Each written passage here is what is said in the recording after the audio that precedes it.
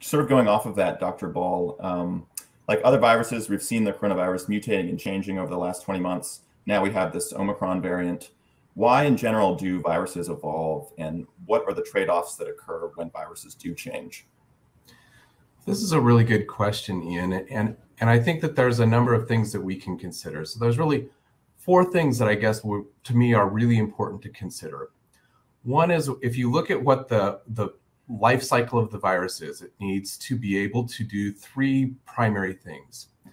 First, it needs to be able to enter and evade the primary defense mechanisms, the skin, the, the mucous membranes of the, of the host, and attach to a receptor so that it can get into the cell and it can replicate itself. And then it, when it leaves the cell, it needs to be able to both evade our immune system and effectively get out into the environment. And then it also needs to be able to persist in the environment long enough to find a new host. Those, are the three big challenges that viruses need to try to solve. So, with the big environmental problems they need to try to solve in order to continue on and be successful.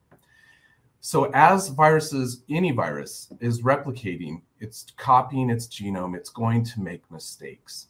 And I think what a lot of people don't realize is that the only viruses that we actually see and detect are the ones that those mistakes weren't too detrimental. So we never see any of the failures. We only see the successes. The success success stories from the virus standpoint are those that are, are able to sufficiently answer those questions. Uh, can I infect the cell? Can I replicate? Can I survive in the environment long enough to get to a new host?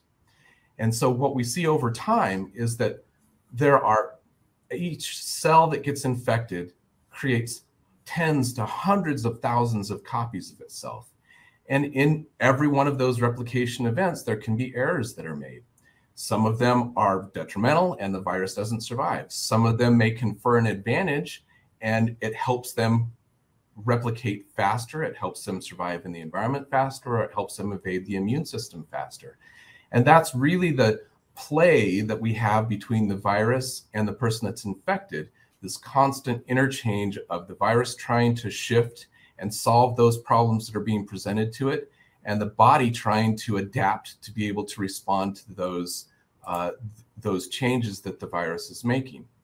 I think with regard to Omicron, what we're seeing and what got scientists so worried was that the sheer number of changes that they observed in Omicron was unlike what we've seen with variants prior to that. And so those the vast number of changes predominantly in the area where the virus attaches to the host cell is what's giving us problems both with the sort of lessening immune response or immune evasion of the omicron variant and also, it seems to be making it more transmissible. So it's able to attach to cells faster, it's able to replicate faster, and it's able to disperse faster. And there's also some literature out there that would suggest that it may persist in the environment a little bit better too. So it appears that this virus, although lots and lots of information still to come on it as scientists study it, it may have found good ways to, to address all three of those big aspects that the virus needs to address in order to be more successful than, say, the Delta variant or previous variants.